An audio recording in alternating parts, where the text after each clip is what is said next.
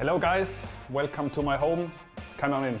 So this is it, my man's cave. This is my simulator. And the rig is from SimLab, the steering wheel and the steering wheelbase, uh, 49 inch ultra wide monitor. I have a very good seat as well. It's, it's a perfect fit for, for what I need. Okay guys, enough talking now. Let me take you on board for a couple of laps with the BMW M8 GTE. Together with Nicky Catsburg, we did the BMW 120 at Le Mans and we found out how competitive uh, those, those sim guys are. When Nicky was in the car, he did the last stint.